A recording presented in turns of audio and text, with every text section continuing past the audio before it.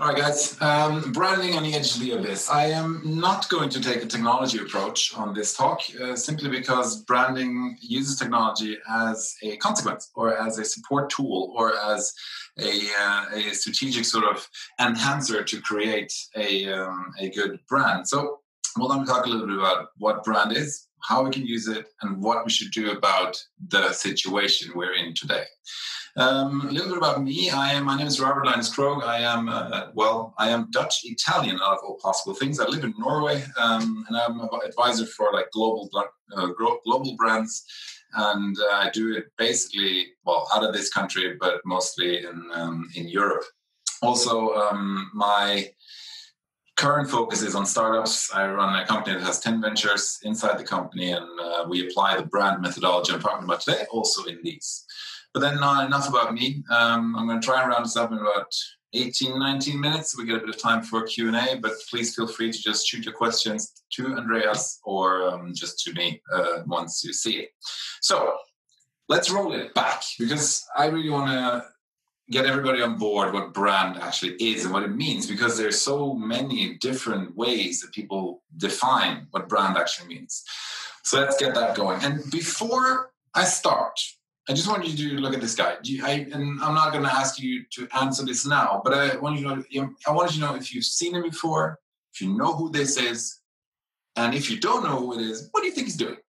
All right, let's just you know have a quick talk about that, or have a quick think about that.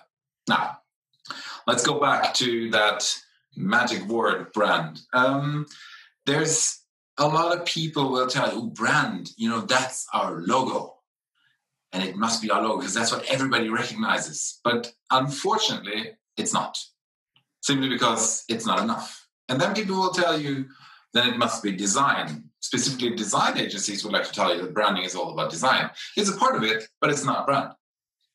But then in the end, you'll get this one thing, and we're talking retail, it must be the product. But as you can probably imagine by now, it's not. Then we can turn it around and say it must be communication. It must be what we say, what we do, and how we pronounce it. But it's not that either. And of course, it is also not a great tagline. And very actual these days, it is the person, the one guy that is the ambassador for the brand, but it's not the brand either. But then HR comes in and will tell you it is the people. It's everybody that works for this company that has this great brand, but it's not that either. So we can go back and say, hmm, what is it? What what what what are we what are we supposed to do? What what is it we're trying to work with here? And brand really is about these guys.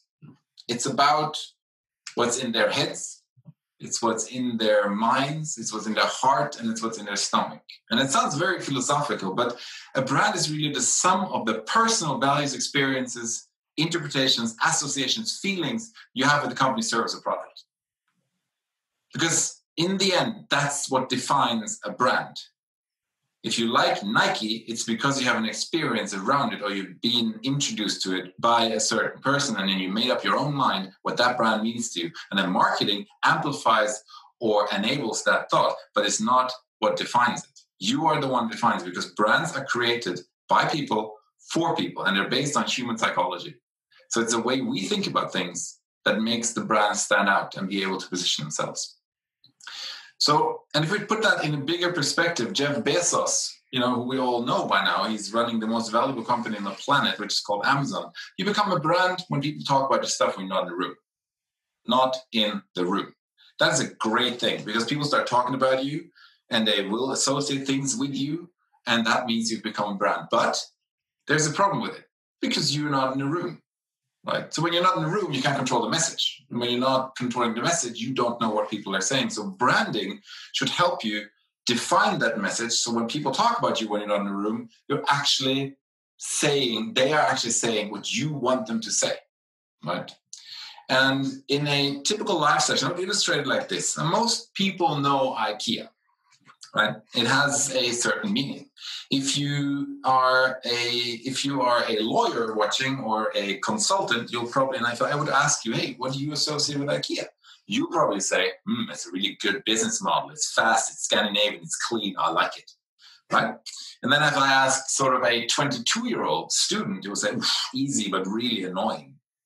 Right? And then maybe me would say, my, you know, we live really close to IKEA. Here's how my wife figures out, ooh, I need candles. Well, I got to go to IKEA.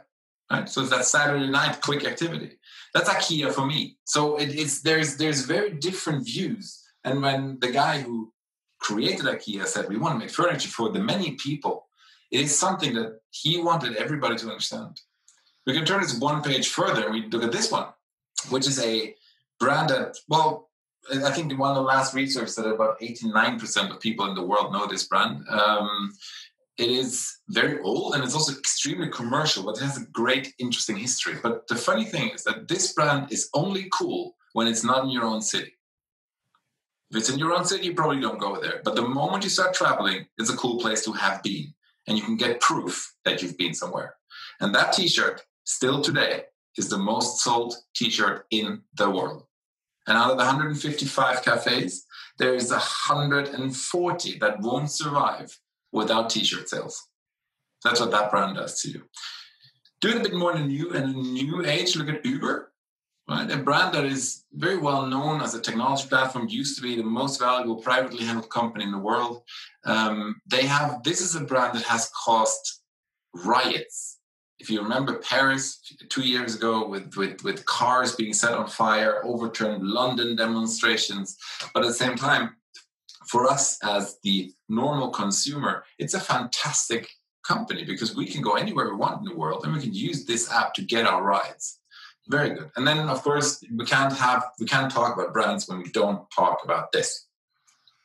Right, Tesla became again the most valuable car company in the world. They've been doing this for 11 years, which is also makes it one of the youngest car companies in the world. And they actually can't build cars. They are a software company that accidentally puts things on wheels. Um, their valuation, their stock or their share price there went, went up crazy the last couple of days. Again, it's over a thousand dollars a share. And also what it does, this company, and again, I want to go back to making you understand how you can become a brand that keeps surprising and keeps owning that message. I'm not sure how many of you see in the presentation of this Cybertruck, as it's called, but we, with the ones of you that seen it, even some of you that haven't seen it, will know that the presentation of the bulletproof glass didn't really work, right? They actually threw a stone into the glass and it broke, it shattered. But instead of making this a PR disaster, 27 minutes after the PR event stopped, Tesla started selling these t shirts on their website, which is the exact picture of the broken glass. That's when you own a message, and that's when you're a different type of car company. So the clear idea is, and this is really important, is that when you go forward now, is that a brand is really not what you say it is, it's what they say it is. And they is everyone else. Because I can say whatever I want about my company. If you don't believe it, you won't reiterate that message.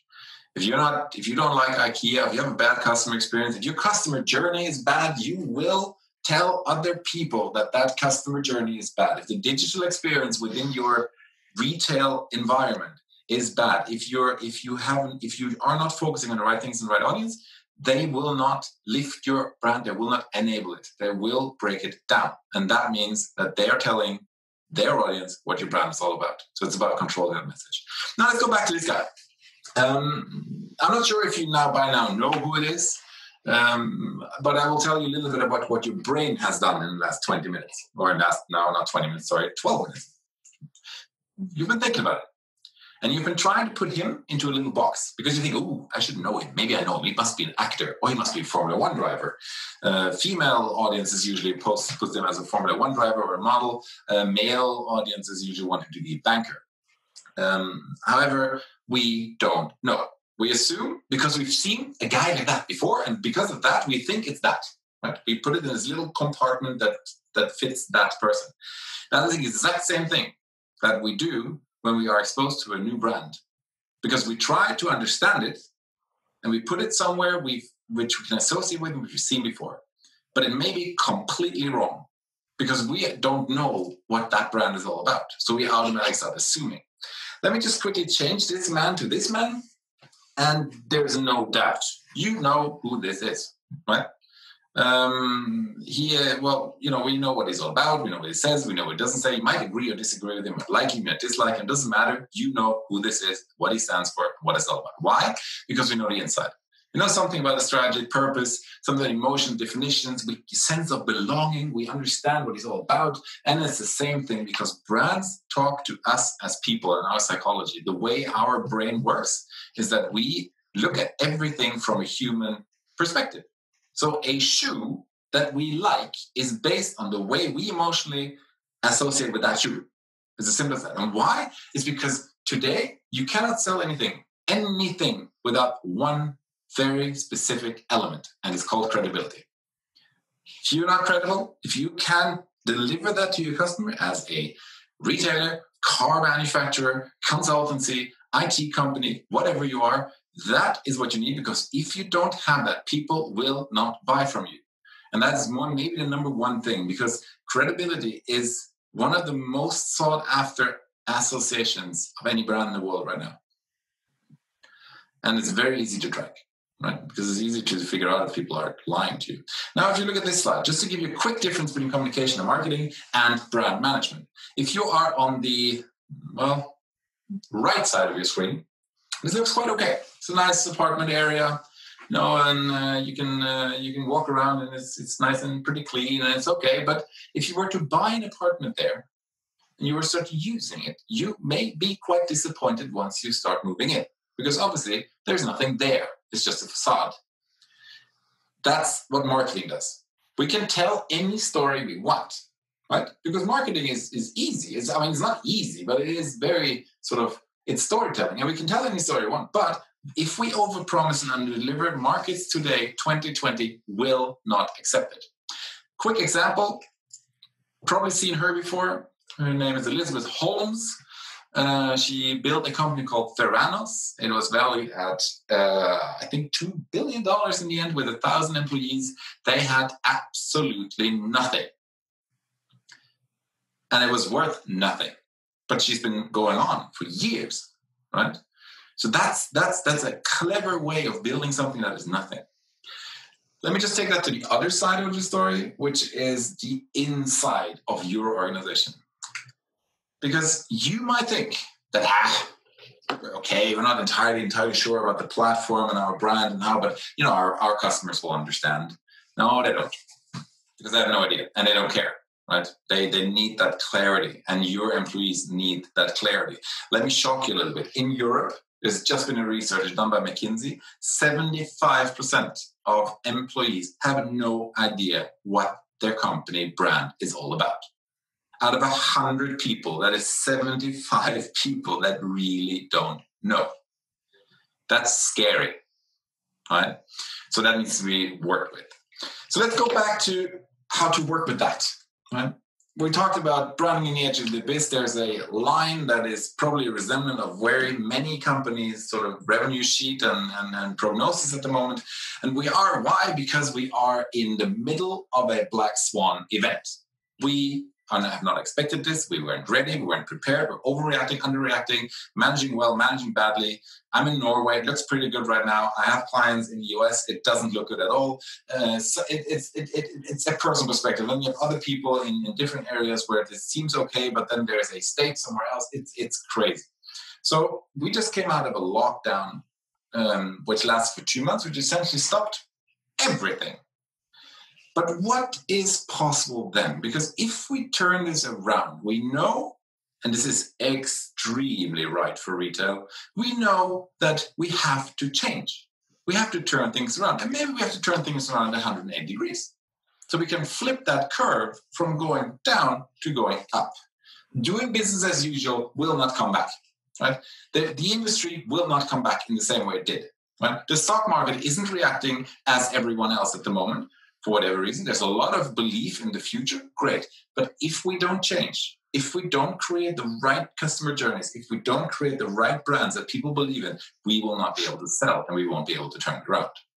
And there's one specific aspect which I think is very, very, very important. How do you make decisions?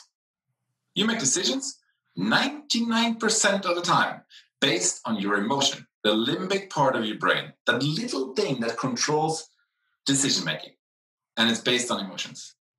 And companies and products alone don't influence that. However, we have this little tool called brands, and they do, because they can help us make those emotional decisions if they are worked with strategically.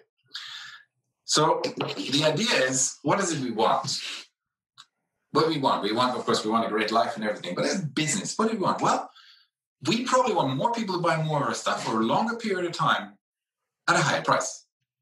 And here's the trick we wanted them to do it over a longer period of time. So that means we can't just stop communicating, we can't stop working with our brand, we can't stop running a strategic effort to make sure that people understand what our position is because we want them to come back and we want new ones to come to us. And we want them to pay more and accept that right?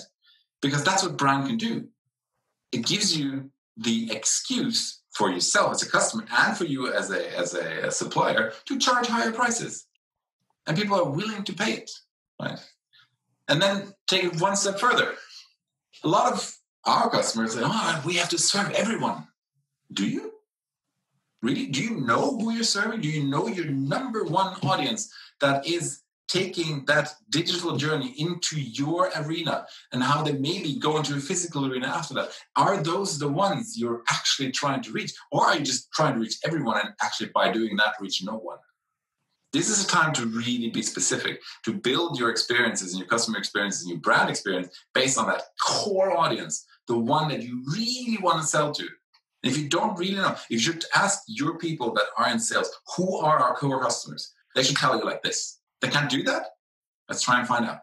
Do the research because that's when you will sell. That's your number one sales game. It's trying to figure out who you're actually selling to and what are these guys expecting from you in your customer journey.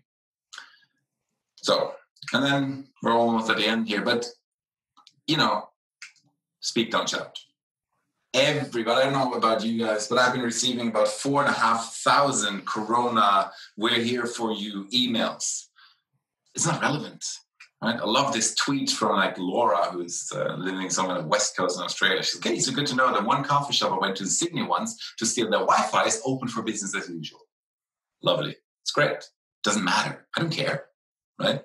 And all of these sort of branded messages that don't mean anything don't mean anything. It doesn't. It doesn't drive sales. It goes gets people annoyed. The only thing that sort of works is when you actually take a position.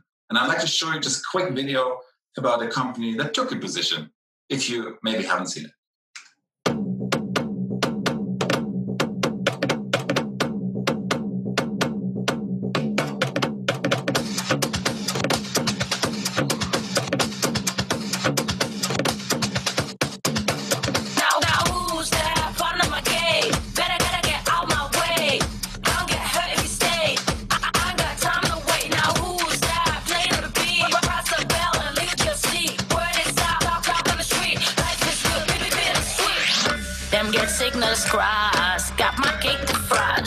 Misinterpretate me, damn, I got shit to do.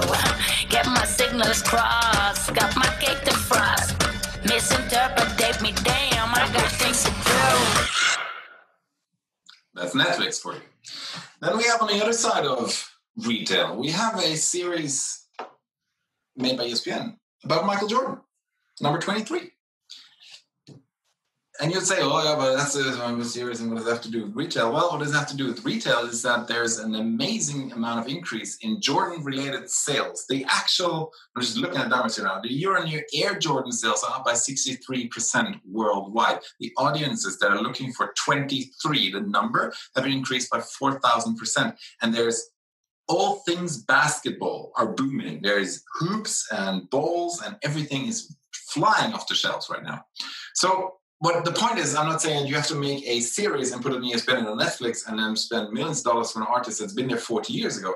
But it's all about that emotional aspect. It's about putting that emotion back into your company because I can tell you that is the one thing that makes people buy stuff. And there's another part of it, which is where you put your money, right? For advertising, marketing, all that stuff. You've seen what happened to our friends at social media. We have our Facebooks and our Googles and our Twitters and our, our Snapchats and our Instagrams, etc., etc. Now you'll see that Facebook is taking a different route. All while Twitter, Snapchat are really, really taking a stand um, on an ethical way. Facebook is really looking to be the number one money machine, right? It's shareholder value.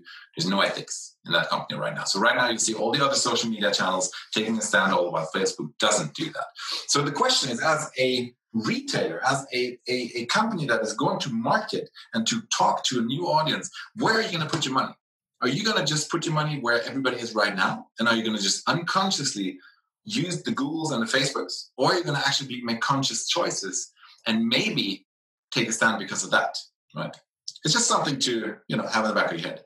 And then, mm, of course, what are we entering now? We're entering the age of consolidation. There will be more companies around that will consolidate with others. There will be partnerships. There will be new, different, different types and different markets. And once markets go, when that happens, and there's takeovers and everything, we will end up in a very fragmented marketplace. That's when you want to have a clear brand. Why? Because our brains are hardwired to see something that is not normal, different.